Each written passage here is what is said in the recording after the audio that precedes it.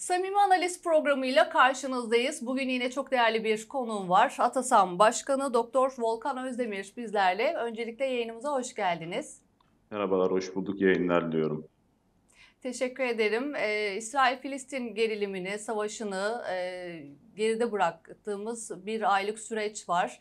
Ve yaklaşık 10 bin Filistin'in hayatını kaybettiğini bültenlerimizde yer veriyoruz, haberlerimizde yer veriyoruz. Ama bugün özellikle ekonomik boyutunu da biraz e, masaya yatırmak istiyoruz. E, bununla ilgili size sormak istediğimiz sorular, değerli görüşlerinizi almak istediğimiz yorumlarınız var. E, gördüğümüz kadarıyla bölgedeki çatışmalar e, uzayacağı benziyor. Bununla ilgili gelinen son noktayı ve ekonomik anlamda, jeopolitik, siyaset anlamında da yine sizden e, son durumu almak isteriz. Ee, bildiğiniz gibi bir ay geçti ee, bu tekrar İsrail-Filistin meselesinin Gazze hı. diyelim, öyle diyelim. Hani e, tekrar dünya gündemine oturması ilk Hamas saldırısıyla birlikte sonra İsrail'in orantısız ve katliama varan cevabıyla birlikte gerçekten çok büyük bir insanlık kıyımı orada yaşanıyor. Tabii aslında zaten 1948'den beri yani 75 yıllık bir süreçte İsrail'in orada kurulması, e, oradaki e, Filistinlerin hilafına genişlemesinin bir yeni perdesi burada yapılmak isteniyor belki de.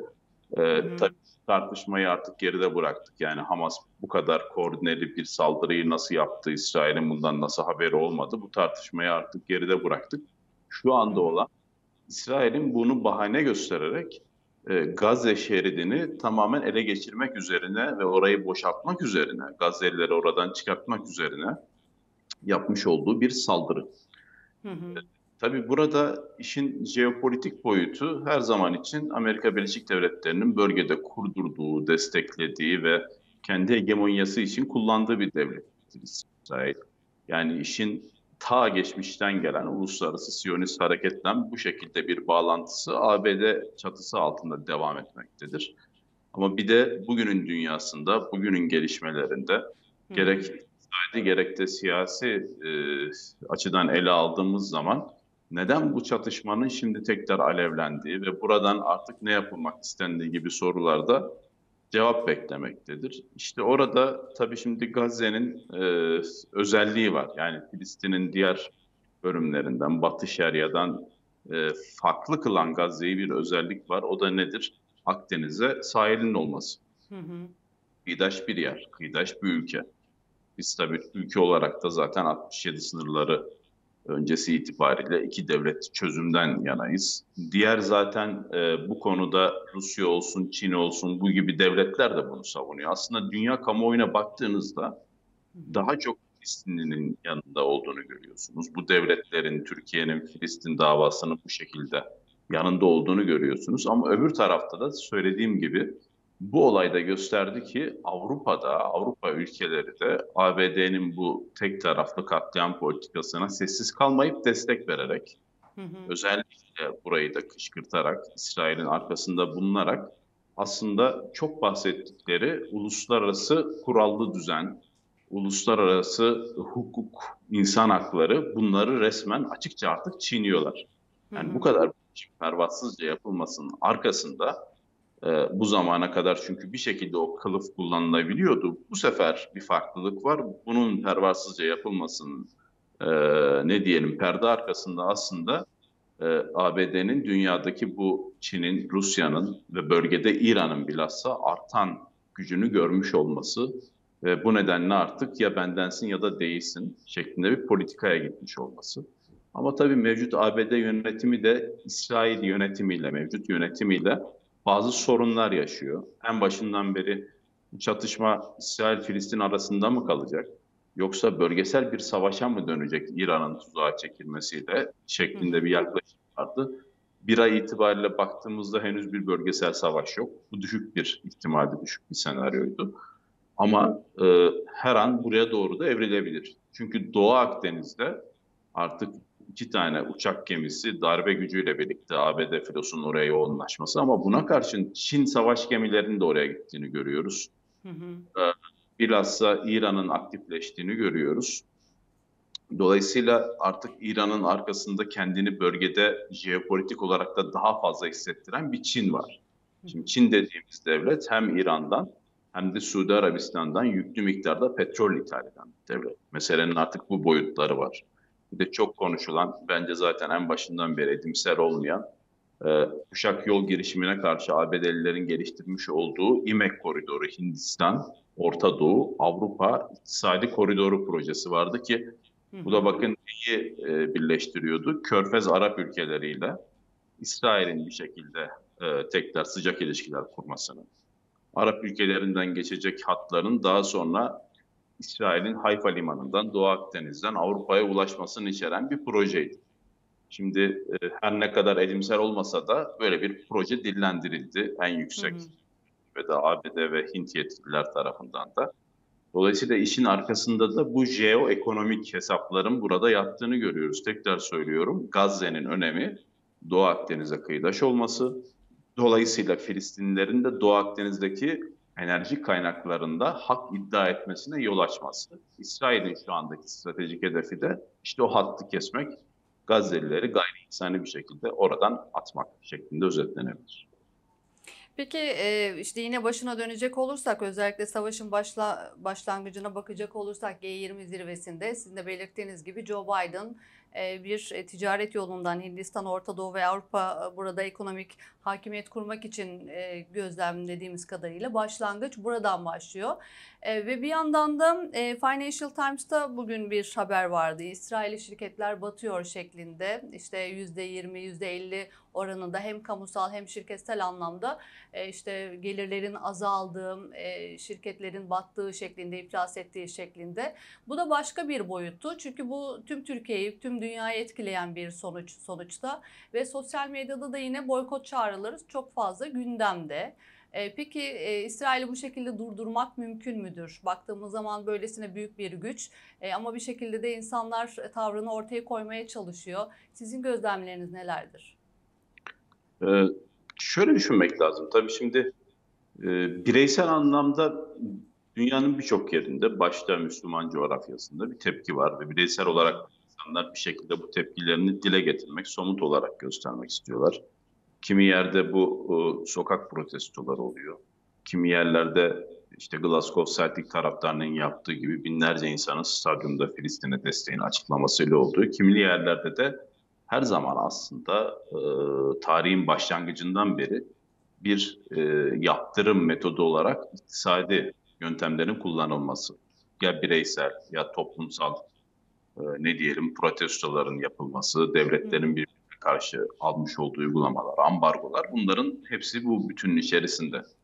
Şimdi tabii ki e, toplumsal olarak bunu yapmak istiyoruz ama burada şöyle de bir bilgi kirliliği var.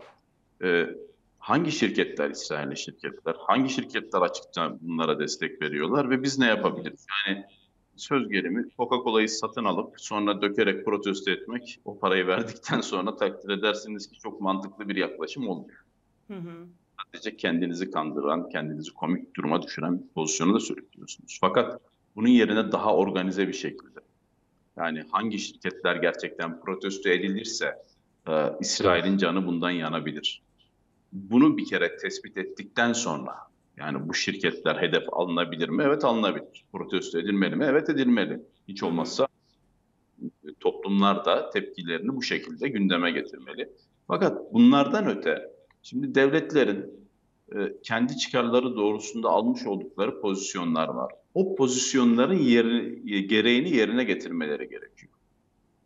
Yani Türkiye ile mesela İsrail arasında yoğun bir ticaret var. Bu ticaretin Bakalım akamete uğrayacak mı, uğramayacak mı? Diğer ülkelerin hakeza İsrail'le yoğun ticareti var. Bakalım e, İsrail konusunda Filistin davasının yanında yer alan Gazze'deki bu katliamları çok sert bir şekilde protesto eden ülkeler gerçekten bunun devamını getirecek mi, getirmeyecek mi? Hı hı. İşte çalışmalara baktığımızda bence önemli olan o şirketlerin, o sektörlerin e, tam anlamıyla ve net bir şekilde kafa karışıklığına yol açmayacak bir şekilde belirlenmesi gerekiyor. Evet bir takım işte boykot çağrıları var ama bazen yanlış firmalar işte aslında menşei İsrail olmayan ya da işte Amerika olmayan birçok firma da yine yanlış işte yönlendirmeler sonucunda boykot adı altında onlar da lekelenebiliyor. Doğru söylüyorsunuz ama baktığımız zaman hani Şunu da sormak istiyorum. E, bu boykot çağrıları e, giderek daha büyür mü? Evet siyasi yaptırımlarla birlikte e, neler yapılması gerekiyor? İşte bazı ülkelerden e, işte siyasi ayakların çözüleceği, bundan sonra görüşülmeyeceği, işte hiçbir şekilde görüşülmeyecek açıklamaları geliyor. E, buna peşi sıra farklı farklı ülkelerden de gelirse e, İsrail bir geri adım atar mı? Ateşkes çağrılarına kulak verir mi? Yani İsrail bu konularda çok aslında dünya kamuoyunu, Birleşmiş Milletler'in kararlarını e, Hı. çok fazla umursamayan, e, gerektiğinde devlet terörünü çok sert bir şekilde uygulayan bir ülke. Dolayısıyla e, birebir belki sonuç olmaz. Ama bu şu demek değildir. Gerçekten mantıklı bir protesto yapılırsa bu ileride İsrail kamuoyunu da etkileyecektir. Bu ileride İsrail devlet e, yöneticilerini de etkileyecektir. Yani şunu diyemeyiz. Şu şu şirketleri protesto edelim hiçbir karşılığı olmayacak diyemeyiz. Mutlaka bir karşılığı olur. Ama burada önemli olan şu şimdi İsrail'i destekleyen sadece İsrail olarak da bakmamak lazım. Yani çok büyük e, ne diyelim çok uluslu şirketler var dünyanın her tarafında e, iş yapan. E şimdi bakıyorsunuz bunların önemli bir kısmı İsrail merkezli de değil, Amerika merkezli ya da başka ülke merkezli. Fakat zaten bu uluslararası Siyonist hareketin içinden başından beri İsrail'e destek veriyor. Yani daha demin demek istediğim biraz da oydu. Şimdi ben şey olarak İsrail'de kayıtlı firma mı değil mi'den ziyade acaba hangi şirketler gerçek anlamıyla İsrail'e destek veriyor ve ne kadar etkili bir protesto, ne kadar etkili bir ambargo toplumlar nezdinde hayata geçirilebilir? Bunun için de çok kritik bir bilgiye, çok somut ve doğru bilgiye sahip olmanız gerekir. Şimdi işin zor kısmı o. Ya da işte bir, bir firmadan bahsediyorlar, kahve firmasından. İnsanlar protesto ediyor ama Türkiye'deki o e, ne diyelim e, o ağın sahibi Katarlı bir iş adamı çıkıyor. Hı hı. Onu yaparken aslında o protesto yerine mi gidiyor vesaire. Dolayısıyla bunu yaparken dediğim gibi hani böyle hamasi söylemlerle değil de somut olarak kim nerede, kimin yanında bunu tespit etmek gerekiyor. Bu da bakın söylemesi kolay ama gerçekten tespit etmesi, uygulaması o kadar da kolay olmayan bir mesele. Hı hı. Peki e, biraz da öngörülerinizi almak isterim. E, sonucu sizce ne olacak, nereye evrilecek? Sonuçta e, Covid'den beridir şunu konuşuyoruz. Orta Doğu olsun ya da işte yeni küresel ekonomiden, yeni küresel düzenden bahsediyoruz. E, sizin öngörüleriniz şeklinde nedir değerlendirmeniz? Önümüzdeki dönemde ne olur, e, neyle karşılaşırız? Bu savaşın sonucuyla birlikte e, bir ateşkes olur mu? İki devletli bir e, sisteme mi geçilir? Ne düşünüyorsunuz? Ee, Ben uzun vadede İsrail'in artık çok büyük bir yara alacağını, Hı hı. kadar güçlü olmadığını. Çünkü dünyadaki güç dengesinin de, kuvvet dengesinin de son 30-35 yılın aksine artık Amerika'dan daha eşit bir şekilde dünyada dağıldığını düşünüyorum. Bu İsrail için iyi bir haber değil. Hı hı. Yani onu söyleyebilirim. E, Çünkü Amerikan hegemonyası zayıfladıkça onun doğal olarak bölgedeki ana müttefiki, müttefikinden öte uzantısı bir devletten bahsediyoruz. Onun gücü konumu da zayıflayacaktır. Yani bu e, bakın şimdi e, Hamas'ın tabii herkesi, hepimizi şok eden teknolojide yoğun kullanılan bir taktiksel saldırısı değil mi? Ama bunun ötesinde Hamas'la kıyaslanmayacak derecede ondan kat ve kat güçlü bir Hizbullah var. Mesela şimdi İsrail'in en büyük korkusu o. Öyle ki Evet. iki tane Amerikan e, uçak gemisinin desteğine muhtaç bir şekilde bu hareketi, bu harekatı yapmaya çalışıyorlar. Düşünebiliyor musunuz? Hı hı. Bir de şu vardır. Yani 10 bin tane sivilin şu ana kadar katledildiğini görüyoruz. Bunların önemli bir kısmı çocuk, kadın. Şimdi bunu e, yaparken aslında sizce bu bir güç gösterisi mi, güçsüzlük belirtisi mi? Bence ikincisi. Hı hı. E, biraz güçsüzlük belirtisi. Yani karadan operasyonlarda zaaf gösterme, kuzeyinde Lübnan'dan çekinme, daha büyük bir savaşta ne olacağı korkusuyla ABD'den destek isteme. Şimdi bunları birleştirdiğinizde İsrail'in ve arkasındaki lobinin eskisi kadar güçlü olmadığını görüyoruz. Evet, halen daha tabii ki belirli bir e, uluslararası sistemde başta finans kapital olmak üzere, yani işin maddi boyutu olmak üzere güçleri var. Fakat artık dünyadaki kuvvet dağılımı uluslararası eksende daha adil ve eşit dağılmaya başladığı için İsrail'in işi zor. Yani İsrail'in bölgedeki düşmanlarının mesela İran'ın çok güçlendiğini görüyoruz bölgede. Hı hı. Yani eskiden mesela bu İsrail-Filistin çatışmalarında hiç Yemen ve Husi faktöründen bahsedemiyorduk ama artık var.